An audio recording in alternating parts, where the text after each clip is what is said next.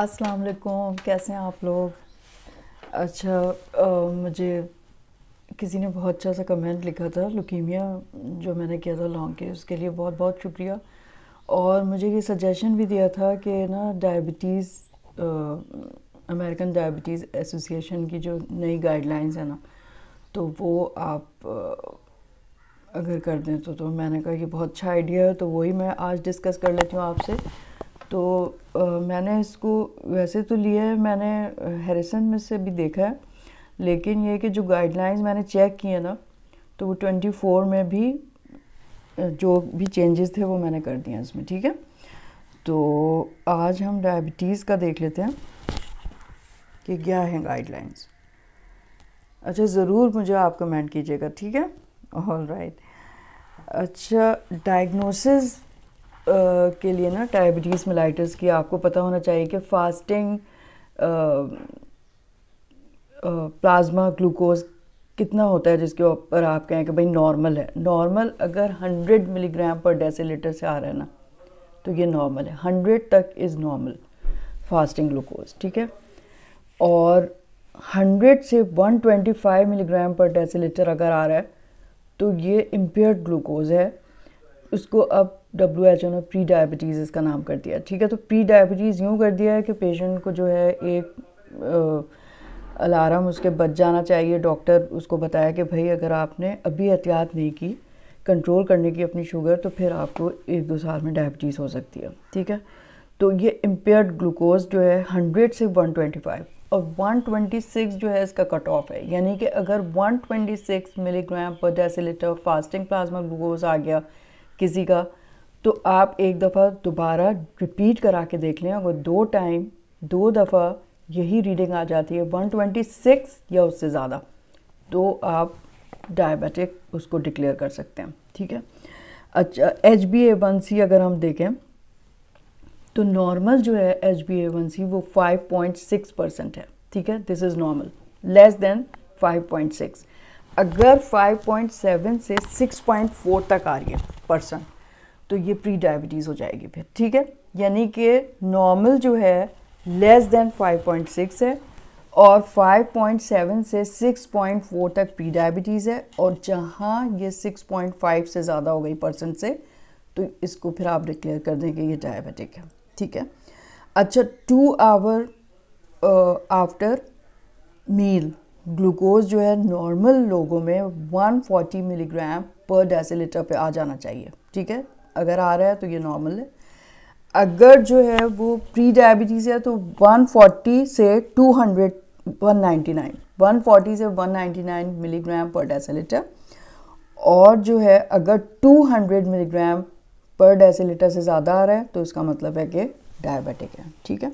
तो ये तो हाइपरग्लाइसीमिया और नॉर्मल ग्लूकोज हमने डिस्कस कर लिया। कब आप क्या चीज़ कहेंगे? प्री डायबिटीज़ है, कब आप कहेंगे कि डायबिटीज़ है, कब नॉर्मल है। सही है। अच्छा अब अगर टाइप वन मतलब डायबिटीज़ होती है तो अब आप उसको डिफ्रेंशिएट करें कि भाई टाइप वन है या टाइप टू है। तो उसमें जो है ना लेबॉर्ट्री असेसमेंट आपको करनी पड़ेगी। एक बहुत सच अच्छा सा चार्ट है कि मैंने जो है उसमें से इंटरनेट से लिया है, और ये अगर सस्पेक्ट कर रहे हैं आप किसी एडल्ट को कि उसको टाइप वन डायबिटीज़ है तो आपने क्या टेस्ट कराना है? आइलेट सेल एंटीबॉडीज़ करानी है आपने अगर आइलेट सेल एंटीबॉडीज़ पॉजिटिव आ गई तो ये कंफर्म टाइप वन डायबिटीज़ है ठीक है अगर आइलेट सेल एंटीबॉडीज़ नेगेटिव आए क्योंकि पाँच से दस फ़ीसद adult onset type one diabetes भी होती है ना तो आप फिर ना अगर नेगेटिव आ रही हैं तो आप एज देखें। एज अगर less than thirty five years है तो आप ये देखें कि are there features of monogenic diabetes और अगर हैं तो फिर आप सी पेप्टाइड लेवल करवाएँ। सी पेप्टाइड लेवल अगर कम आ गए सॉरी 200 से ज़्यादा आ गए हैं। 200 पिकोमोल पर लीटर से अगर ज़्यादा आए हैं तो आप genetic testing for monogenic diabetes अगर अवेलेबल है तो वो करा के देख सकते हैं। अगर जो है फीचर्स मोनोजेनिक डायबिटीज़ के नहीं हैं तो आप क्या करेंगे? आप फिर देखेंगे टाइप टू डायबिटीज़ के फीचर हैं क्या? तो अगर वो भी नहीं है तो फिर ये टाइप वन और लेस सी पेप्टाइड जो है लेस देन 200 मिलीमोल आ गया है तो आप उसको लेबल कर देंगे टाइप वन डायबिटीज़ है वो, ठीक है? मोर देन 200 में मोनोजेनिक लेस देन 200 में टाइप वन हो गया। अब अगर एज जो है, वो मोर देन 35 फाइव ईयर्स है उस पेशेंट की जिसको सेल एंटीबॉडीज़ जो हैं वो नेगेटिव आई थी। तो अनक्लियर क्लासिफिकेशन हुई, ठीक है? उसमें आप क्लिनिकल डिसीज़न लेंगे as how the person with diabetes should be treated उसमें आप क्या करेंगे? Consider C peptide test after three years duration जब हो जाए डायबिटीज़ का तो फिर आप सी पेप्टाइड लेवल करवा के देखें। अगर C C peptide level less than 200 आ रहे हैं तो ये टाइप वन डायबिटीज़ है।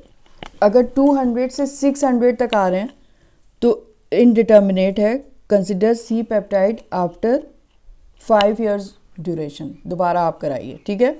और अगर जब आपने कराया था तो 600 मिलीमोल से ज़्यादा आ गए सी पेप्टाइड लेवल तो ये कंफर्म हो गया कि ये टाइप टू डायबिटीज़ है। तो इस तरह से आपने डिफ्रेंशिएट कर लिया। सही है? अब मैं डायबिटीज़ मिलाइटस के ना, फिर अब गोल्स अमेरिकन डायबिटिक एसोसिएशन में रख दिए हैं। जब तक वो आपको पता नहीं होगा गोल्स ही आपको नहीं पता तो आप किस तरह ट्रीट करेंगे पेशेंट को। तो टाइप वन और टाइप टू के लिए जो गोल्स है ना, वो पहला तो ये है कि एलिमिनेट सिम्टम्स ऑफ़ हाइपरग्लाइसीमिया ज़ाहिर है आप जिस तरह से भी डाइट से एक्सरसाइज से और जो है दवाइयों से, आप उसका हाइपरग्लाइसीमिया के सिम्टम्स जो है ना, वो एलिमिनेट कर रहे हैं। नंबर टू रिड्यूस और eliminate long term microvascular and macrovascular complication of diabetes ठीक है? और तीसरा क्या है? Allow the patient to achieve as normal lifestyle as possible यानी बिल्कुल नॉर्मल ज़िंदगी वो बसर करे, इस तरह से हमने ट्रीट करनी है डायबिटीज़ ठीक है? अच्छा अब ये गोल्स अगर हों आपके जहन में तो ज़ाहरी बात है कि हम, जो फिजिशियंस हैं, उनको आइडेंटिफाई करने की ज़रूरत है ना, कि क्या लेवल ऑफ़ ग्लाइसेमिक कंट्रोल होना चाहिए जिसके ऊपर आप पेशेंट को लेके आना चाह रहे हैं। और पेशेंट को एजुकेशनल और फार्माकोलॉजिक रिसोर्सेज जो भी हैं मतलब जो आप इस्तेमाल करेंगे, वो उसको पेशेंट को बताने चाहिए और फिर मॉनिटर करना चाहिए। डायबिटीज़ की अगर कॉम्प्लिकेशंस हैं तो वो ट्रीट करनी चाहिए, ठीक है? अब सिम्टम्स तो रिजॉल्व हो जाते हैं, जैसे ही लेस देन 200 मिलीग्राम पर डेसीलीटर से कम होता है शुगर लेवल ब्लड में तो सिम्टम्स सारे रिजॉल्व होने शुरू हो जाते हैं। तो ज़्यादातर जो ट्रीटमेंट फोकस हमारा होना चाहिए, वो ये होना चाहिए कि हम सेकंड और थर्ड गोल को अचीव करें, यानी कि कॉम्प्लिकेशंस को प्रिवेंट करें और दूसरे पेशेंट को इतना कंफर्टेबल कर दें, उसकी डायबिटीज़ बिल्कुल ऐसा लाइफ स्टाइल उसका हो कंफर्टेबल जितना कंफर्टेबल हो सकता है उतना हो। तो ये दो चीज़ें, क्योंकि वो तो फिर आप कर ही लेंगे ना, कि उसके सिम्टम्स तो ख़त्म हो जाएँगे जब आप उसको 200 मिलीग्राम पर डेसीलीटर से उसका शुगर लेवल कम होना शुरू होगा, ठीक है? अब ट्रीटमेंट गोल जो एडल्ट में है ना डायबिटीज़ के तो वो अब आपको जब तक पता नहीं होंगे आप किस तरह से करेंगे, आपको किस किस लेवल पे लेके आना है पेशेंट का ग्लाइसेमिक लेवल तो उसको कहेंगे? इंडेक्स ऑफ़ ग्लाइसेमिक कंट्रोल ठीक है? तो वो आप देखेंगे, एक होता है, एक आप डिवाइड कर लें, एक जो है नॉर्मल यानी कि जिनमें कोई रिस्क फैक्टर्स नहीं है, और यंग पेशेंट हैं, दूसरे ओल्डर और हाई रिस्क पेशेंट यानी कि जिनको कॉम्प्लिकेशंस हुई हुई हैं कोमॉर्बिड्स हैं जिनके, उनमें डिवाइड कर लें। तो अगर हम नॉर्मल जैसे ले रहे हैं पेशेंट को तो H B A one C आपको टारगेट जो है ना लेस देन सेवन परसेंट उनकी होनी चाहिए। आप इस तरह ट्रीट करें कि लेस देन सेवन परसेंट उनका H B A one C हो जाए। और जो ओल्डर और हायर रिस्क पेशेंट है, उसमें आप करेंगे लेस देन एट परसेंट भी अगर है तो ठीक है। ठीक है? अच्छा प्री प्रांडियल ब्लड ग्लूकोज यानी कि फास्टिंग जो है ना, वो किस गोल पे लेके आएँगे जो नॉर्मल विदाउट कोमॉर्बिड्स हैं? उन पेशेंट में 80 टू 130 130 इज़ द गोल कि फास्टिंग आ रहा है, जो डायबिटिक हैं और आप ट्रीट कर रहे हैं, अगर उनका फास्टिंग लेवल 130 तक आ रहा है तो उसका मतलब है गोल अचीव्ड और जो ओल्डर पेशेंट है, उसमें थोड़ा सा ज़्यादा हम दे देते हैं मार्जिन 90 टू 140 यानी 140 मिलीग्राम पर डेसीलीटर भी अगर उनका फास्टिंग लेवल आ रहा है तो उसका मतलब है कि वो ठीक है। ठीक है? उसी के ऊपर आपने रखना है उनको। थर्ड क्या है? पोस्ट प्रांडियल यानी कि दो घंटे के बाद जो ऐसे नॉर्मल जिनमें कोमॉर्बिड्स नहीं हैं, उनका लेस देन 180 हो जाना चाहिए। डायबिटिक्स में जिनको आप ट्रीट कर रहे हैं, उनका दो घंटे के बाद post prandial blood glucose 180 milligram पर डेसीलीटर से कम हो जाना चाहिए। ठीक है? और ओल्डर हाई रिस्क पेशेंट में आप रखेंगे गोल कि लेस देन 200 मिलीग्राम पर डेसीलीटर भी अगर आ रहा है ना तो ठीक है। सही है? अच्छा अब ये चीज़ जो है ना, ये ज़रा समझने वाली है कि जो डायबिटीज़ जिनको होती है ना, उनकी केयर जो है वो ये उसमें होता है कि मल्टी टीम होती है जो उसको जो है ना कंट्रोल करे। क्योंकि इतनी सारी कॉम्प्लिकेशंस हो रही हैं उसमें डायबिटीज़ में, और तो वो जो है ना, कोई एक शख्स अकेले वो नहीं कर सकता। ये तो है बाहर के लिए यानी कि European countries America western countries में ठीक है? अब यहाँ पे कौन सी मुझे बता दें आप मल्टी डिसिप्लिनरी टीम होगी। हर चीज़ आप ही को करनी है ना। अनलेस के पेशेंट को ऐसी कोई आ, हो गई है कॉम्प्लिकेशन कि आपको फिर रेफ़र ही करना पड़ रहा है वरना तो जब तक जो है पेशेंट को ऐसी कोई चीज़ नहीं है वो आप ही के पास आ रहा होगा ना। दस लोगों के पास तो नहीं जा रहा होगा ना हमने हमारे पास कोई ऐसी टीम है। अगर जो बड़े बड़े हॉस्पिटल हैं उसमें न्यूट्रिशनिस्ट होते हैं तो वो उनसे कंसल्ट किया जा सकता है ये पोडियाट्रिस्ट होते हैं। अब सक्सेस क्या है? कि पेशेंट की अपनी पार्टिसिपेशन होनी चाहिए उसमें। पेशेंट खुद ईगर होना चाहिए। उसमें इतनी आ, मतलब उसको इतना मतलब सेंस होनी चाहिए ना कि इसके लिए कितना ज़रूरी है। तो ये सेंस कहाँ से आएगी? ज़ाहिर है एजुकेशन से आएगी। तो ये जो है वो आपको पेशेंट को समझाना है कि इससे क्या क्या नुकसान हो सकते हैं, क्या कॉम्प्लिकेशंस हो सकती हैं। जब पहली दफ़ा आपके पास पेशेंट आया है, उसकी शुगर बड़ी हुई, आई है, ठीक है, और आप डायग्नोज कर रहे हैं डायबिटीज़ ठीक है, अब टीम अब मैं आपको बता रही हूँ इंक्लूड किस किस को करती है? एक तो हम लोग हो गए हैं हेल्थ केयर प्रोवाइडर फिर एंडोक्रिनोलॉजिस्ट और डायबिटोलॉजिस्ट जो बहुत है हमारे यहाँ और सर्टिफाइड डायबिटीज़ एजुकेटर होता है वहाँ पे, जो ये सारी एजुकेशन उसको देता है। A nutritionist a psychologist and possibly a social worker तो ये तो एक एलूजिव सा वो हो गया इतनी हमारे पास तो अगर पेशेंट आएगा, सब चीज़ हमने खुद ही उसको समझानी है, ठीक है? उसको खुद ही अच्छा मैं इतनी हैरान होती हूँ, मैं पेशेंट से पूछती हूँ जैसे डायबिटीज़ का कोई मेरे पास आया पहली दफ़ा और उसको दस साल से डायबिटीज़ है। अब वो मेरे पास आ गया कंट्रोल नहीं हो रही। उफ, मैं उससे पूछती हूँ कि आप मुझे ये बताएँ कि आपको क्या मालूम है डायबिटीज़ से क्या ख़राबी हो सकती है, क्या नुकसान हो सकते हैं? और आप यकीन करें पेशेंट को ज़्यादातर कुछ भी पता नहीं होता। एक आध चीज़ बताएँगे हाँ शायद किडनी फेल हो सकते हैं या कुछ और बता देंगे बाकी। कुछ नहीं पता और बाज़ इतने पढ़े लिखे लोग भी होते हैं, उनको भी नहीं पता होता कि इससे क्या क्या नुकसान आते हैं। अब जब देखें पेशेंट को यही नहीं पता कि उससे क्या क्या नुकसान आते हैं तो उससे बचने की क्या कोशिश करेगा? उसको तो बस ये होगा शुगर बड़ी भी आ रही है या अगर थोड़ी बहुत सिम्टम्स हो रहे हैं उसको तो वो तो उसको तो कुछ पता ही नहीं।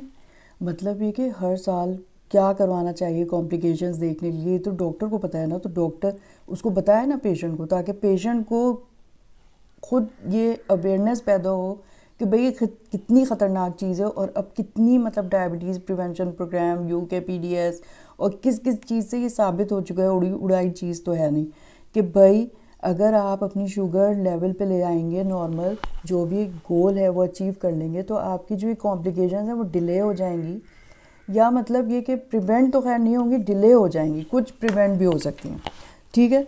तो ये समझाना मतलब सिर्फ़ ये तो नहीं ना कि बस पेशेंट आया और एक दफ़ा आपने ये कर लिया, बस हो गया। अब उसको फॉलो भी तो करें ना। अब फॉलो किस तरह करेंगे, कैसे करेंगे, वो भी देखें। अब जब डायबिटीज़ की कॉम्प्लिकेशन होने लगती हैं तो फिर ज़ाहरी बात है कि सब स्पेशलिस्ट के पास तो आपको भेजना पड़ेगा ना। यानी कि ऑप्थेलमोलॉजिस्ट रेजिनोपैथी अगर न्यूरोलॉजिस्ट उसको न्यूरोपैथीज़ हो रही हैं। पोडियाट्रिस्ट पोडियाट्रिस्ट तो मैं कहती हूँ, इतना ज़रूरी है हर अस्पताल में होना चाहिए। भाई, पहले हमारे हॉस्पिटल में एक होता था, लेकिन अभी वो चला गया। इतने मतलब कैलसिस हो रहे हैं क्या क्या हो रहा है? भाई, किस तरह? और फिर कितनी आपको पता है गैंग्रीन और क्या ख़राबियाँ हो सकती हैं? एम्पूटेशन की नौबत आ सकती है। नेफ्रोलॉजिस्ट जहरी बात है। कार्डियोलॉजिस्ट एंड कार्डियोवैस्कुलर सर्जन्स भाई, ज़ाहिर है, उनकी भी ज़रूरत होगी जब सीवीडी हो गई डिवेलप और जो है वो एंजाइना हार्ट अटैक ये सब हो रहा है तो फिर इनकी भी ज़रूरत है। With experience in diabetes related complication are essential ठीक है? तो ये तो एक ऐसी चीज़ है मतलब हमारे यहाँ कुछ इनको अलग गाइडलाइंस बनानी चाहिए कि हम लोग किस तरह से ये मल्टी डिसिप्लिनरी जो ये है, वो तो कुछ भी नहीं है ना कि मतलब आप ही को हर चीज़ करनी है। आप ही ने कोई वहाँ पे बाकायदा सर्टिफाइड डायबिट डायबिटीज़ एजुकेटर होता है। ठीक है, जिसने एक कोर्स किया हुआ होता है। तो अब वो तो नहीं आप कहीं से पकड़ के ला रहे हैं ना? तो आपने ख़ुद ही बताना है पेशेंट को। आपने ख़ुद कॉम्प्लिकेशंस बतानी है, ख़ुद पूछनी है उससे, ख़ुद उसको अवेयरनेस देनी है। कितना उसने जो है वो रखना है अपना फास्टिंग ब्लड ग्लूकोज कितना होना चाहिए उसको बताएँ आप। अच्छा अब बहुत सारे मुख्तलिफ़ किस्म के नाम हैं जो डायबिटीज़ के मैनेजमेंट में इस्तेमाल किए जाते हैं, जैसे intensive insulin therapy intensive glycaemic control या टाइट कंट्रोल लेकिन अब करंट जो अब गाइडलाइंस है ना एडीए की, वो ये कहती हैं कि डायबिटीज़ केयर एम्फोसाइज आप करें कि ऑप्टिमल डायबिटीज़ थेरेपी जो है ना, वो सिर्फ़ ग्लूकोज मैनेजमेंट नहीं है, ठीक है? कि मेडिकेशन दे दिया आपने बस। वो पेशेंट सेंटर्ड होनी चाहिए, यानी इंडिविजुअलाइज्ड होनी चाहिए। जैसे मैंने बताया ना कि जो जिनको को मॉबिड्स नहीं है, उनका आपने जो है वो कम फास्टिंग ग्लूकोज लेवल आप गोल में रखेंगे, जिनमें हैं तो इंडिविजुअलाइज्ड होना चाहिए आपको। हर एक को आपने एक ही तरह से नहीं ट्रीट करना है, ठीक है? ये कहती है अमेरिकन डायबिटिक डायबिटीज़ एसोसिएशन अच्छा अब guidelines ongoing comprehensive diabetes care की, ठीक है? तो अब कॉम्प्रीहेंसिव यानी टाइट कंट्रोल और intensive insulin therapy intensive control इसकी जगह जो है ना ongoing comprehensive diabetes care अब इस्तेमाल किया जा रहा है, ठीक है? ये स्लोगन अब उसमें क्या क्या है कि individualised glycaemic goal and therapeutic plan होंगे, जो आप पेशेंट के हिसाब से आ, करेंगे। और फिर सेल्फ मॉनिटरिंग वो तो बहुत ज़रूरी है। Self monitoring at individuals frequency of blood glucose यानी कि कैपलरी ग्लूकोज जो ग्लूकोमीटर से चेक हो रहा है। यानी self monitoring blood glucose S M B G कहते हैं उसको और इंटस्टिशियल ग्लूकोज जो कंटिन्यूस ग्लूकोज मॉनिटरिंग या सी जी एम में होती है। यानी दो तरीके से ना मॉनिटर करना है पेशेंट को। अब हमारे पास तो पेशेंट पता है इतने गरीब हो गए, होते हैं, उनके पास तो ग्लूकोमीटर नहीं होता। लेकिन ये कि जब उनको अगर इंसुलिन की नौबत आ गई टाइप टू भी था और इंसुलिन की आई है तो फिर तो भाई मतलब फिर तो आप देखें ना, बग़ैर चेक किए हुए तो बहुत ही मुश्किल है। मतलब अक्सर लोगों के पास वैसे होते हैं ग्लूकोमीटर लेकिन अब इतने स्ट्रिप्स उनकी महँगी होती हैं और ये सब, कितना मुश्किल है ना, बस ये तो कितनी कोई आइडियल गाइडलाइंस हैं, आप ये देखें। तो इसमें क्या होगा? सेल्फ मॉनिटरिंग जो पेशेंट कर रहा है तो वो अब ये कहते हैं कि टाइप टू डायबिटीज़ को एटलीस्ट एक दफ़ा तो अपना रोज़ करना चाहिए, चाहे वो ओरल हाइपोग्लाइसेमिक मेडिकेशन ले रहा है। एक दफ़ा उसको फिर भी टाइप टू में करना चाहिए रोज़ आना एक दफ़ा। एक से दो लिखा हुआ है इसमें, अभी आएगा आगे मैं बताती हूँ। और जो टाइप वन है, उनको तो मोर देन थ्री टाइम्स देखनी है अपनी शुगर ठीक है? और बाज़ वहाँ पे मोर देन टेन टाइम्स ही चेक कर रहे होते हैं वेस्टर्न कंट्रीज़ में। अच्छा अब दूसरी चीज़ सुन लें तो पहला तो इंडिविजुअलाइज ग्लाइसेमिक गोल हो गया, फिर दूसरा सेल्फ मॉनिटरिंग हो गई, या तो कैपलरी ग्लूकोज से एस से ग्लूकोमीटर से, या फिर इंटस्टिशियल ग्लूकोज इंटस वो तो आप कैपलरी ग्लूकोज तो आप जो है वो प्रिक करके जो ग्लूकोमीटर से कर रहे हैं। अब ये जो इंटरस्टिशियल ग्लूकोज है ना उसमें क्या होता है? कंटिन्यूस ग्लूकोज मॉनिटरिंग अब ऐसी डिवाइसेस हैं मतलब सेंसर एक होता है इलेक्ट्रोड कह लें आप उसको तो उसको सब क्यूटेनियसली इंसर्ट कर देते हैं। और उसके वो कंटिन्यूस मॉनिटरिंग कर रहा होता है इंटरस्टिशियल ग्लूकोज की जो आ, मतलब एक टैली करता है प्लाज्मा ग्लूकोज से। तो एक तो ये है कि उसमें मुस्तकिल रिकॉर्डिंग हो रही होती है। दूसरा एक तरीका होता है कि जब डिटेक्टर लगाएँ तो फिर ग्लूकोज की वो रिकॉर्डिंग करता है डिटेक्टर से, ठीक है? तो ये दो तरीके होते हैं और every three to fourteen days उस सेंसर को जो सबक्यूटेनियसली लगा हुआ है, उसे चेंज करना होता है। माई गॉड तो ये तो मतलब मैंने तो अभी देखा नहीं है यहाँ पे। किसी को लगा हुआ। अच्छा फिर वो जो हो रहा है तो फिर उसके ऊपर पेशेंट खुद से अपनी जो है ना, वो कंट्रोल यूँ कि डॉक्टर ने उसको समझा दिया कि भाई इतना है तो ऐसे कर लेना उतना है तो वैसे कर लेना अभी मैं आपको बताती हूँ। तो वो और फिर रिकॉर्ड ला के जो डॉक्टर को चेक कराएगा यानी हमारे पास लाएगा हमारे पास भी तो फास्टिंग और आर बी एस लेके आ रहा होता है जिसके बेसिस पे हम एडजस्ट कर रहे होते हैं ना उसकी ड्रग है या इंसुलिन जो भी। ठीक है? तो उसके बगैर तो हम कर ही नहीं सकते ना। कभी कभार मेरे पास पेशेंट आ जाते हैं जैसे आ, पता नहीं, मेरे पास आए थे, फिर उसके बाद छः महीने बाद आ गए और डायबिटिक थे और फास्टिंग को रैंडम कराया ही नहीं। अब जब आप मेरे पास आए हैं तो बताएँ, मैं तो फिर आपकी दवा को कुछ भी नहीं कर सकती ना। मतलब आप मेरे पास कोई रिकॉर्ड तो लेके आए तो हर पेशेंट को मैं कहती हूँ कि भाई जब भी आए आप फास्टिंग और रैंडम करा के आएँ, ताकि मैं उसके ऊपर कोई डिसीज़न लूँ। अब यहाँ पे तो आप देखेंगे, रोज़ाना का रिकॉर्ड होता है पेशेंट के पास और या कंटिन्यूस ग्लूकोज मॉनिटरिंग होती है। तो वहाँ क्या एक्सीलेंट कंट्रोल हो रहा होगा। अच्छा अब H B A one C testing कब होनी चाहिए? ए डी ए कहते हैं two to four times per year देखें two times normally two times होनी चाहिए बस। क्योंकि आप बार बार मुझे नहीं पता पेशेंट आया है, उसने आपको H B A one C दिखाई। पिछले तीन महीने का तो उसने दिखा दिया ना आपको। अब जो आपको करना है, कर लें। उसको ट्रीटमेंट चेंज करना है या वॉट उसका बड़ा हुआ था। तो अब फिर दूसरे डॉक्टर के पास जाएगा, उसने भी देखी तो आप क्या दोबारा कराएँगे उसको? क्यों कराएँगे भाई? वो तो पिछला अभी दिखा रहे हैं ना आपको, पूरा आपने अभी कराया हुआ उसने, आपने किस लिए उसको रिपीट कराना है? कराएँगे तो आप फिर छः महीने के बाद कराइए ना, ताकि आप देखेंगे आपने जो ट्रीटमेंट चेंज किया था, उससे क्या हुआ? और जिन लोगों का बिल्कुल में कंट्रोल नहीं होता है अनकंट्रोल में चल रहा है, उनमें चार दफ़ा करा सकते हैं, वरना नॉर्मली दो दफ़ा साल में कराया जाता है छः छः महीने बाद। अच्छा फिर फोर है इसमें lifestyle management in the care of diabetes उसमें क्या क्या करेंगे? कि सेल्फ मैनेजमेंट और एजुकेशन और सपोर्ट फिर न्यूट्रिशन थेरेपी जिसको हम कहते हैं एम यानी कि मेडिकल न्यूट्रिशन थेरेपी ठीक है? फिर फ़िज़िकल थेरेपी इसके बगैर तो है ही नहीं ना। पेशेंट को आपने बैठ के सारा समझाना है। Psychosocial care including evaluation of depression and anxiety अब एक किसी किसी पेशेंट को अब ये आपने डायग्नोसिस डिक्लेयर कर दी। अरे भाई, कितनी मतलब उसके ऊपर एक वो हो जाएगा कि उसको डायबिटीज़ हो गई है पूरे ज़िंदगी उसने दवाइयाँ लेनी है। तो उसको कितना डिप्रेशन एंगजाइटी पे जा सकता है ना? उसे कहते हैं डायबिटीज़ डिस्ट्रेस अच्छा फिर नंबर फाइव अब डिटेक्शन आपने करनी है कि उसकी माइक्रोवेस्कुलर मैक्रोवेस्कुलर कॉम्प्लिकेशंस हो रही हैं क्या? या पेशेंट की डायग्नोजी जब हुई होती है, जब उनको कोई कॉम्प्लिकेशन हो जाती है। ठीक है? तो diabetes related eye exam examination annual और बाई एनुअल अगर बहुत मतलब ये कि प्रोलिफ्रेटिव रेटिनोपैथी होने लगे तो बाई एनुअल कर ले, वरना तो आप एनुअली उनको ऑप्थेलमोलॉजिस्ट के पास भेज के आप ये करवाएँगे, ठीक है? Diabet diabetes related foot examination one to two times per year by the doctor and daily by the patient आप समझाएँ पेशेंट को कि भाई आपने अपने पैर का ख्याल अपने चेहरे से की तरह रखना है। जितना चेहरा साफ़ रखते हैं, उतना पैर। पैर देखें पेशेंट के, ठीक है? उसकी डोरसेलिस पीडिस पेलपेट करके देखें। ज़ाहिर है उसको अगर जो है वो न्यूरोपैथी डिवेलप हो रही होगी तो आपको नमनेस बर्निंग और इन सब चीज़ की कंप्लेंट वो पहले ही कर रहा होगा। फिर diabetes related neuropathy examination annual होना चाहिए। आपके पास आ रहा है, एक साल हो गया आप करें।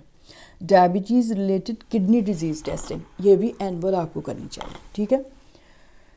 ये गाइडलाइंस हैं। अच्छा सिक्स है मैनेज और treat diabetes relevant conditions including blood pressure अब सारी बात है ब्लड प्रेशर इस तो इतना मतलब इसको आपको याद रखना इतना ज़रूरी है ना, कि एक गाइडलाइन ये बता रही है आपको ब्लड प्रेशर 130 80 से कम होना चाहिए डायबिटिक्स का। ये गोल होना चाहिए आपका। अब पेशेंट कहते हैं, हमें तो ब्लड प्रेशर है ही नहीं, हमें तो है ही नहीं अभी हाइपरटेंशन है ही नहीं वही नहीं, कुछ नहीं, आप चेक करके देखें। अगर आपका आ रहा है, आप पेशेंट से बताएँ कि भाई डायबिटीज़ में अगर आपका ब्लड प्रेशर इतना है तो हमें इससे कम करना है। इससे कम करने का फ़ायदा ये है कि आपकी जो भी कॉम्प्लिकेशंस हैं, वो डिले हो जाएँगी या प्रिवेंट हो जाएँगी, ठीक है?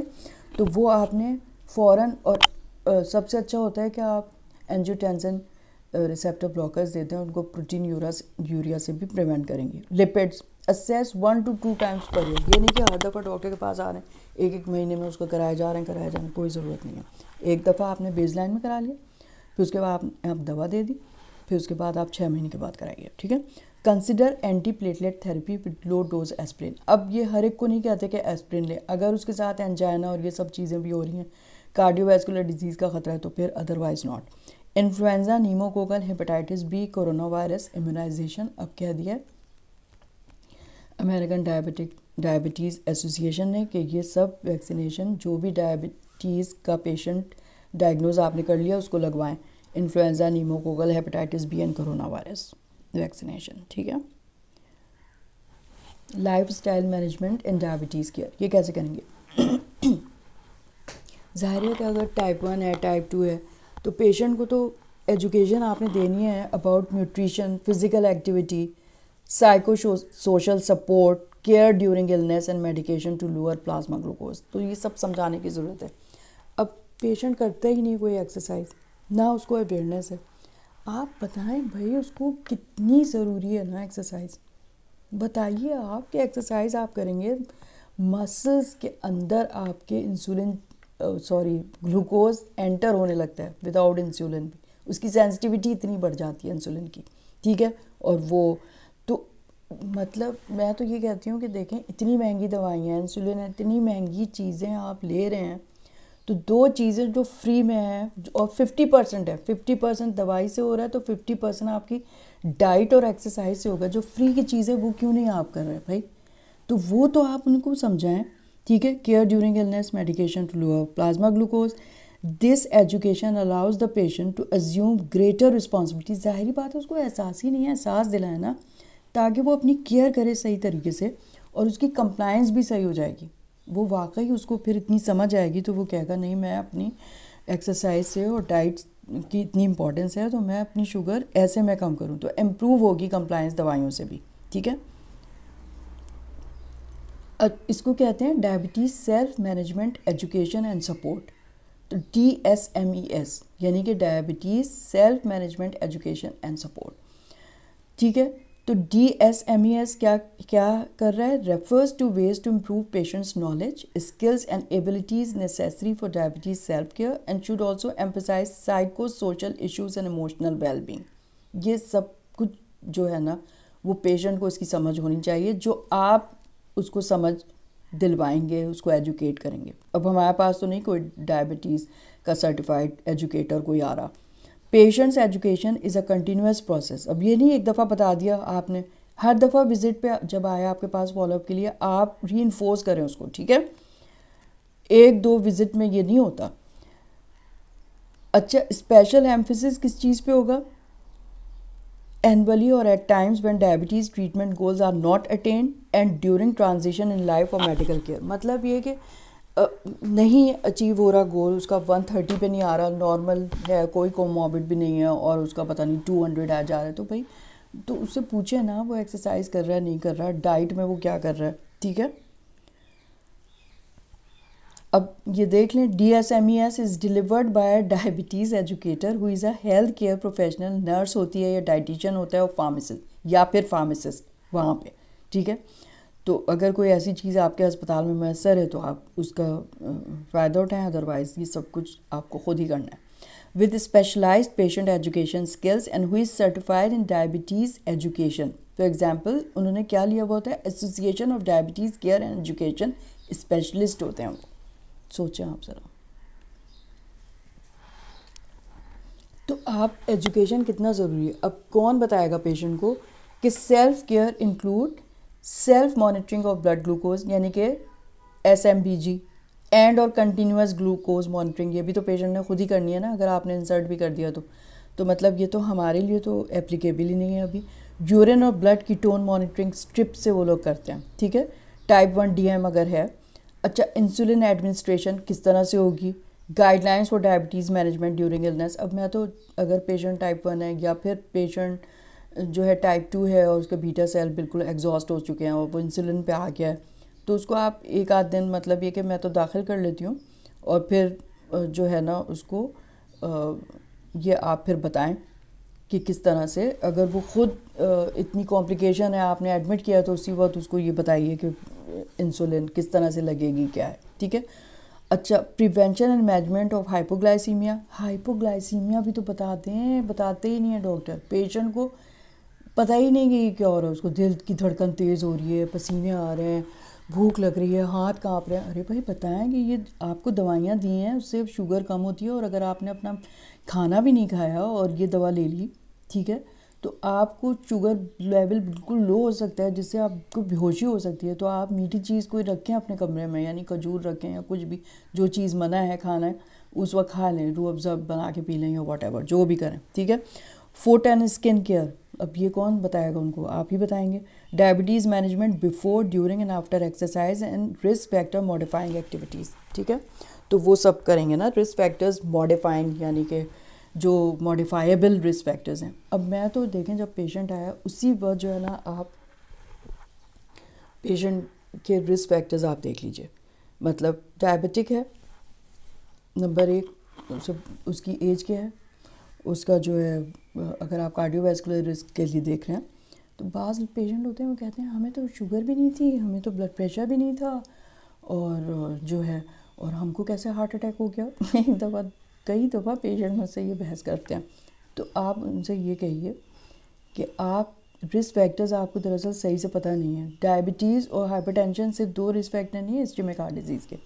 भाई, पहला तो रिस्क फैक्टर आप आदमी हैं, ये हो गया, एक रिस्क फैक्टर उम्र आपकी पचास से ज़्यादा है, दूसरा रिस्क फैक्टर्स तीसरा आपकी फैमिली हिस्ट्री है अनमोडिफाइबल अगर है तो ठीक है? एक ये हो गया। फिर उसके बाद एक्सरसाइज करते हैं? नहीं। तो एक ये हो गया। सिगरेट पीते हैं? हाँ एक ये हो गया। तो डायबिटीज़ हाइपरटेंशन अगर नहीं भी है तो ये पाँच चीज़ें तो थी ना आपको। तो फिर तो ये तो रिस्पेक्ट है आपके जो जो मॉडिफाइबल है। अब सिगरेट स्मोकिंग मॉडिफाइबल है हाइपरटेंशन डायबिटीज़ मॉडिफाइबल है, आप कर लेंगे। एज नहीं है जेंडर नहीं है और जो है वो आपकी फैमिली हिस्ट्री मॉडिफाई नहीं हो सकती ज़ाहिर है। तो ये जो चीज़ें मॉडिफाई हो सकती हैं, उनको करें ना आपको मेटाबॉलिक सिंड्रोम हुआ है, क्या आपकी सेंट्रल ओबिसिटी हुई हुई है ये भी तो चीज़ें हैं ना। तो इनको भी तो कंट्रोल करने की ज़रूरत है। मोर फ्रिक्वेंट आप, मैं तो अपने फ़ाइल में लिख लेती हूँ, ये ये रिस्क फैक्टर्स हैं इसको, ठीक है? रिस्क स्ट्रेटिफिकेशन बहुत ज़रूरी है। More frequent contact between the patient the diabetes management team for example electronic telephone video सोचें ये वहाँ वेस्टर्न कंट्रीज़ में हो रहा है इम्प्रूव ग्लाइसिमिक कंट्रोल तो तो बहुत अच्छा कंट्रोल कर लेते होंगे पेशेंट को। यहाँ पे तो आप पेशेंट आए माय गॉड इतने इतने डायबिटीज़ को दिखा रहे हैं। और चार सौ, साढ़े तीन सौ, ये शुगर आ रही है फास्टिंग और ब्लड प्रेशर पता नहीं क्या one ninety one ten hundred किसी ने भी नहीं शुरू किया हुआ उनको। तो ये सिर्फ़ इसलिए है कि आपको उसके गोल्स ही नहीं पता हैं, ठीक है? अगर आपको गोल्स पता होंगे ना तो आप क्यों नहीं कंट्रोल उसको? उस लेवल पे लेके आएँगे ना, फिर आप, फिर उस हिसाब से आप बढ़ाइए। पेशेंट सारा पूछिए, वो क्या करें? मेडिकल न्यूट्रिशन थेरेपी जो एम एन टी है। ये टर्म जो है अमेरिकन डायबिटीज़ एसोसिएशन ये डिस्क्राइब करती है कि आपकी कोऑर्डिनेशन होनी चाहिए ऑप्टिमल कैलोरिक इनटेक में और other aspects of diabetes therapy यानी कि insulin exercise and weight loss ठीक है? तो some aspects of medical nutrition therapy are directed at preventing or delaying the onset of type two diabetes जो pre diabetes इसीलिए उन्होंने जो है ना ख़तरे की घंटी बजाई है कि प्री डायबिटीज़ जो है उसी वक्त जो है आप एम एन टी इनको शुरू करा दें ताकि उनको डायबिटीज़ ना हो जाए। ओबीज़ हैं और प्री डायबिटीज़ है उनके साथ। बाय प्रोमोटिंग वेट रिडक्शन उनको बताएँ भाई मतलब कुछ एहसास ही नहीं है यहाँ पे तो लोगों को। Other measurement of M N T यानी medical nutrition therapy are directed improving glycemic control through limiting carbohydrates and take and avoiding simple sugars and fructose and managing diabetes related complication cardiovascular disease nephropathy ठीक है? अब कहते हैं कि obesity अगर है तो उसकी मेडिकल मैनेजमेंट यानी फार्माकोलॉजिक अप्रोचेज हैं facilitate weight loss and metabolic surgery should be considered in selected patient यानी कि जिनका जो मॉर्बिडली ओबीज है ना तो उनको फिर कहते हैं बेरियाट्रिक सर्जरी तक करवा लें उनकी शुगर कंट्रोल करने के लिए।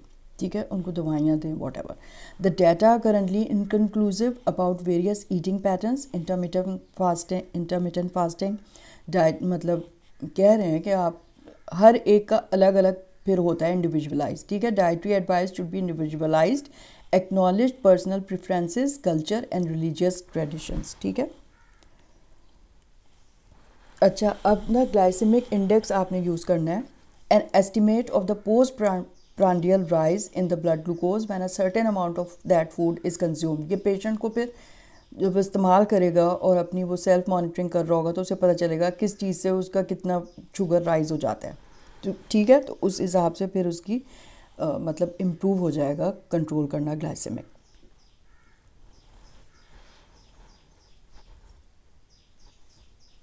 अच्छा goal of medical nutrition therapy in type one diabetes is to coordinate and match the carbohydrate intake with the appropriate amount of insulin MNT in type 1 is informed by uh, self-monitoring blood glucose and or continuous glucose monitoring that should be integrated to define the optimal insulin regimen. Based on the patient's estimate of carbohydrate content of a meal, an insulin to carbohydrate ratio determines the bolus insulin dose for a meal or a snack. Medical nutrition therapy must be flexible enough to allow for exercise and insulin regimen must allow for variation caloric intake an important component of therapy in type 1 diabetes is to minimize the weight gain after associ- uh, often associated with intensive insulin therapy. ज़ाहिर है insulin लग रही है तो weight gain हो रहा होगा and is best achieve by placing limits on carbohydrate intake तो आप उनको फिर आप बताएँगे ना भाई इंसुलिन से वेट बढ़ बढ़ता है तो आप कार्बोहाइड्रेट की इनटेक अपनी लिमिट करें। और यहाँ पे लोगों को मतलब बेचारों को सेंस ही नहीं है आप उनसे पूछें अवेयरनेस ही नहीं है देखें। कि जो हम इनटेक ले रहे हैं एनर्जी इनटेक ठीक है? उसको बैलेंस होना चाहिए कि उसको एक्सपेंड कैसे कर रहे हैं आप एनर्जी को? एक्सरसाइज कर रहे हैं? आप लिए जा रहे हैं, लिए जा रहे हैं एक्सरसाइज कर ही नहीं रहे हैं। तो कहाँ जाएगा वो सब शुगर ज़ाहिर बात है कि वो फैट डिपॉजिट्स हो जाएँगे।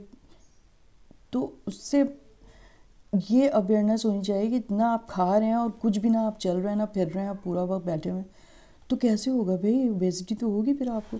तो उसको बहुत ख्याल करने की ज़रूरत है। The goals of M N in type two diabetes focuses on the weight loss and address the greatly increase prevalence of cardio cardiovascular factor यानी hypertension and dyslipidemia and disease in this population तो type two में तो cardiovascular risk कितना ज़्यादा है ना तो उसके लिए तो ओबेसिटी बिल्कुल वेट लॉस promote कराएँ। The majority of these individuals are obese. Weight loss is strongly encouraged. Very low carbohydrate diet that induce weight loss may result in rapid and dramatic glucose lowering individual with new onset type 2 diabetes.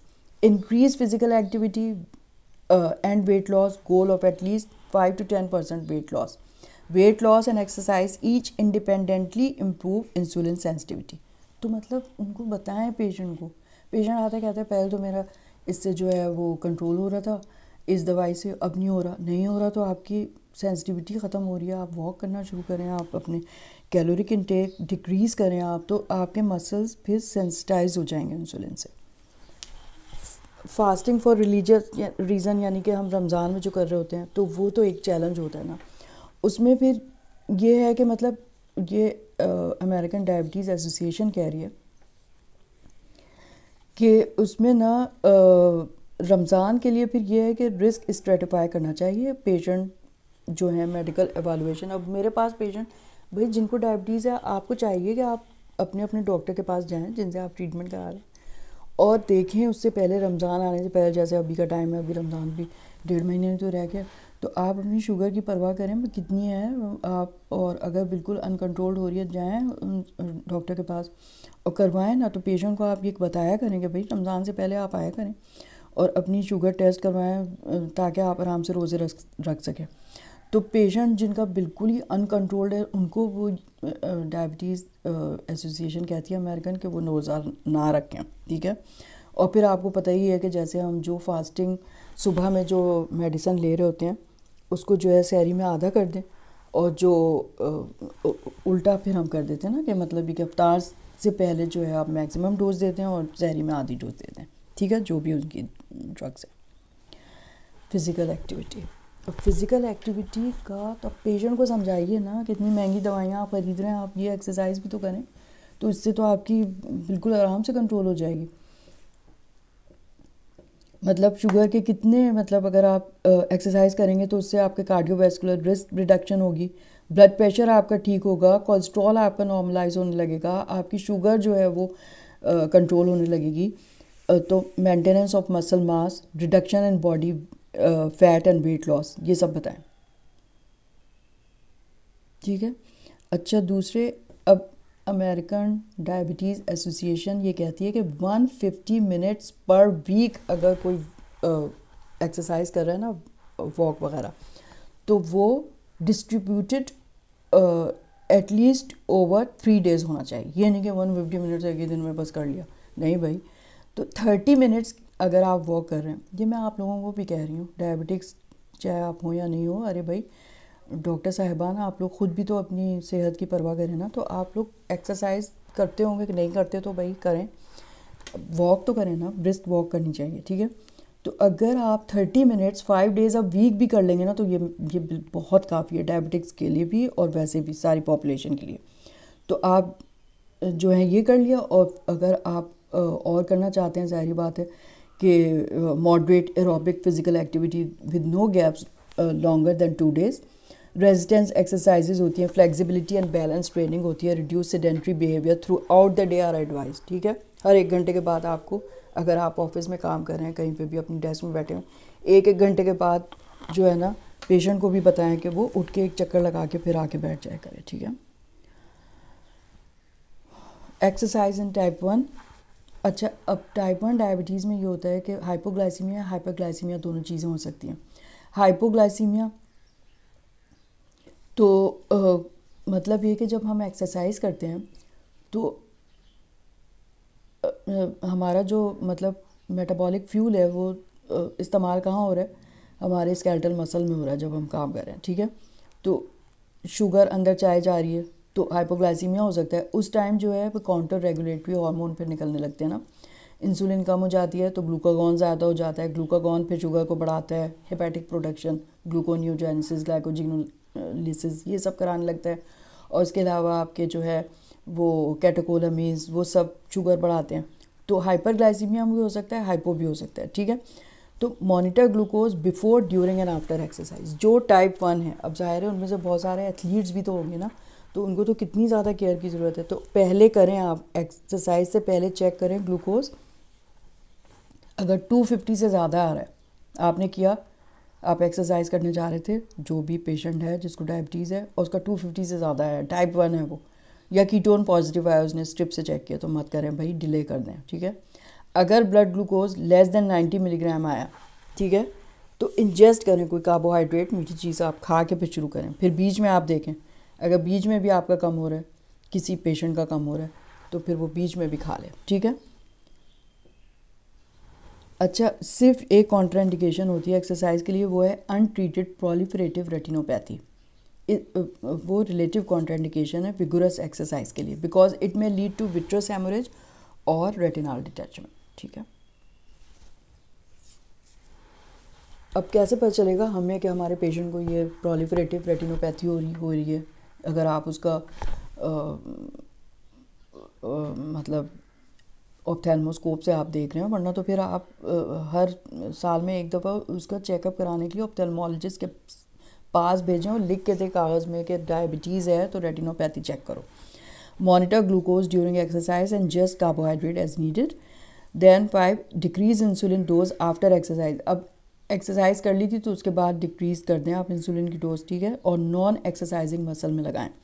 Learn individual glucose response to different type of exercise ये patient को खुद फिर पता चल जाएगा जब वो exercise करता है, कितना उसको कम हो जाता है, ज़्यादा हो जाता है वट तो उस हिसाब से ना फिर वो खुद सीख लेगा।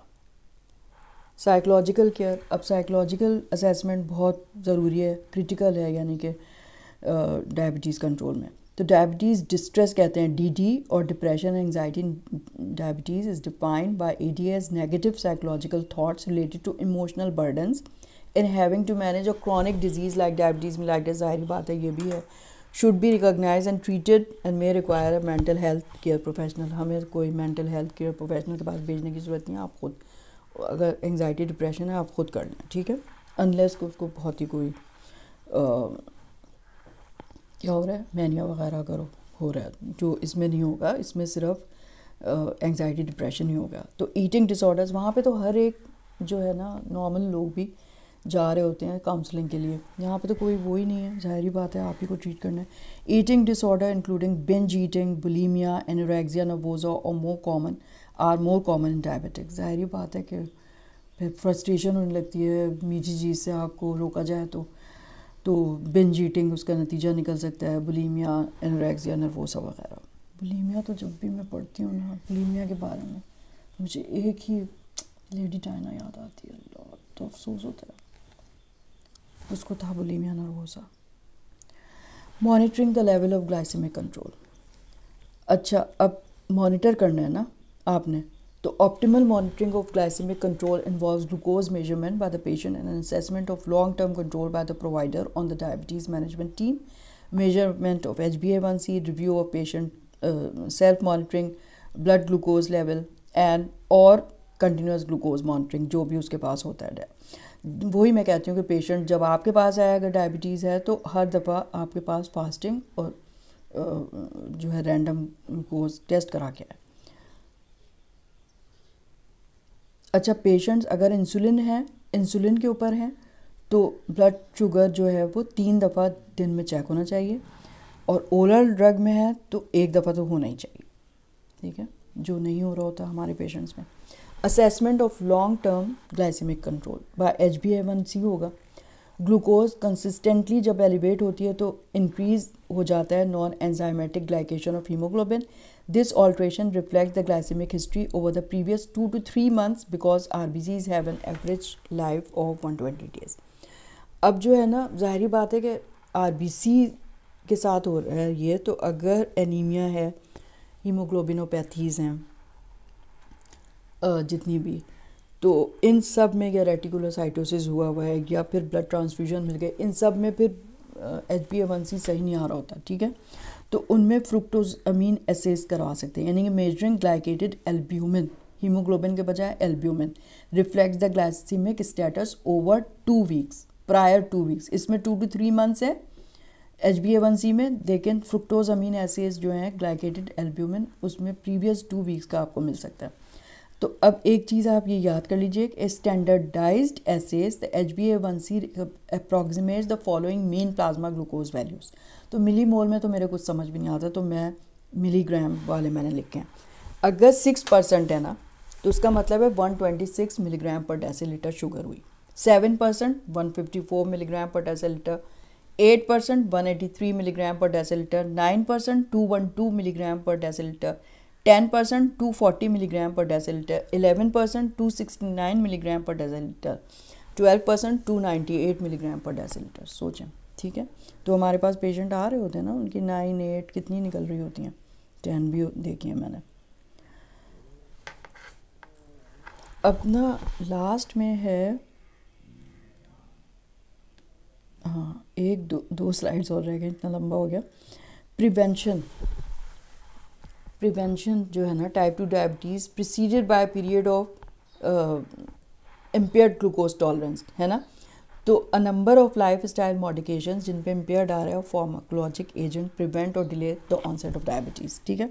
तो patients with pre diabetes or increase risk of diabetes should be refer to a structured programme to reduce body weight and increase physical activity as well as being screen for cardiovascular disease तो अगर pre diabetes है obesity है तो उसको आप इनक्रेज करें कि भाई वो वेट लूज़ करे कैलोरिक इनटेक अपनी रिड्यूस करे एक्सरसाइज करे विगरस ठीक है? Uh, मतलब ये कि जो भी एक्सरसाइज uh, का प्लान आप उसको दे रहे हैं वो वो तो आप इससे प्रिवेंट कर सकते हैं या डिले हो सकता है ऑनसेट ऑफ़ डायबिटीज़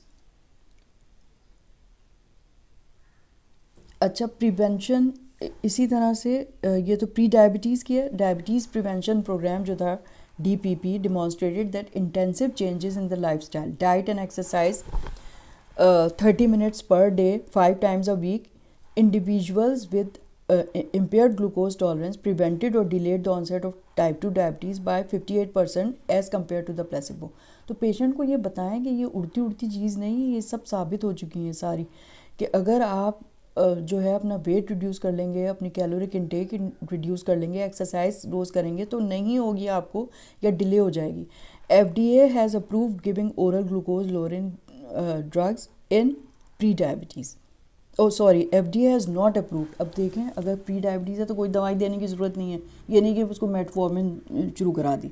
ठीक है? अब ये जो अमेरिकन डायबिटीज़ एसोसिएशन है ना, वो ये कहती है कि मेटफॉर्मिन सिर्फ़ उनमें कंसिडर करें, जिनको इम्पेयर्ड ग्लूकोज आ रहा है जो बहुत हाई रिस्क पे हैं विद प्रोग्रेशन टू डायबिटीज़ यानी कि एज उनकी ज़्यादा है बी एम आई उनका बढ़ा हुआ है मोर देन थर्टी फाइव यानी कि मॉर्बिडली ओबीस हुए per metre square and a women with a history of G D M यानी कि जेस्टेशनल डायबिटीज़ मिलाइटिस अगर वुमेन को है और उसको जो है वो प्री डायबिटीज़ स्टेट में है तो फिर आप मेटफॉर्मिन स्टार्ट करा सकते हैं वरना हर एक को आप नहीं कुछ भी नहीं देंगे। सिर्फ़ उसे कहेंगे वेट रिड्यूस करो एक्सरसाइज करो और अपनी कैलोरिक इनटेक जो है वो रिड्यूस करो। Individuals with impaired glucose tolerance or an HbA1c of uh, 4, uh, 5.4% should be monitored annually to determine if criteria for diabetes are present ठीक है? ख़त्म। हो गया बहुत लंबा हो गया। और नेक्स्ट टाइम जो है ना, हम अमेरिकन हार्ट एसोसिएशन की गाइडलाइंस अगर मेरी बन गई तो वरना तो फिर मैं कोई केस डिस्कस कर लूँगी उसमें से New England journal of medicine में से, वरना मैं बनाना शुरू कर दूँगी। जब भी मेरा हो गया तो फिर मैं आपको उसके साथ डिस्कस कर लेंगे, ठीक है? और ज़रूर मुझे कमेंट कीजिएगा। Thank you so much okay खुदा हाफ़ खुदा हाफ़